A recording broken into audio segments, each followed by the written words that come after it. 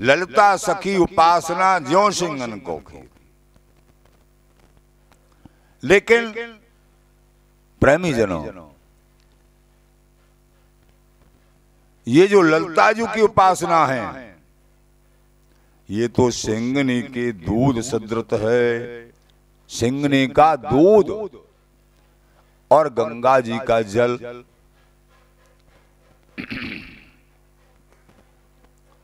ये तो सिंगनी के दूध के समान है। गंगा जी के जल के समान नहीं, ये सिंगनी के दूध के समान है। गंगा जी का जल कोई भी पान करेगा सहज जो है उसको हरि मार्ग प्रशस्त होगा। लेकिन सिंगनी का दूध तो कोई पचा ही नहीं सकता है।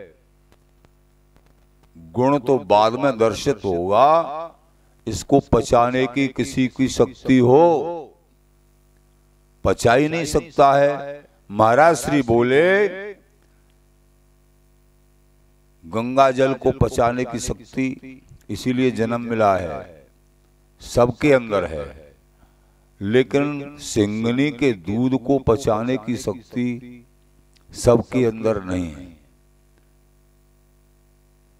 कौन के अंदर है?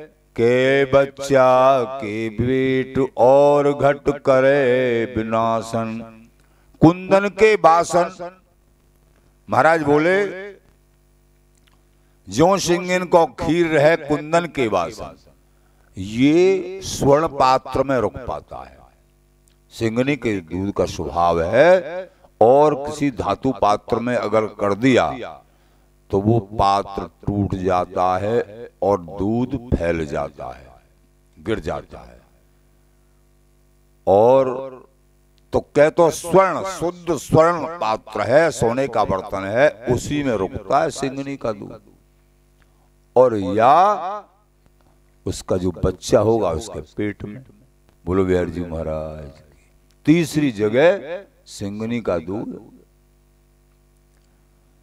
तो महाराज श्री ने बताया, जो कैसा देश है ये? छके रहे छवि माधुरी, छवि वारुणी। ये रसिक जन, एकमात्र विहारी विहारन की छवि में छके रहते हैं। नैनन पर से गारू देग दुहन को ख्याल। आरोहन अवरोहनी करत रहे दिन रैन। भगवत रसिक अनन्य के धन धन गौ नैन। ये तो आरोहन अवरोहन। बिहारी बिहारन। सुरतारम सुरत मध्य सुरतांत। अवलोकन बिहार। अंगसंग बिहार। आदि। बिहारी बिहारन रस रहस्य में निमग्न। और ये सहचरिया अपने हाव भाव संकेतन थे ये ललताजू सहज प्रिया प्रीतम को अनवरत अखंड रूप से। तो जो कभी बिहार तनक हु कभी ब्राह्म ना लेवे है प्रिया प्रीतम को, ऐसो बिहार, ऐसो नित्य इसीलिए तो नित्य विहार है। जहाँ मतलब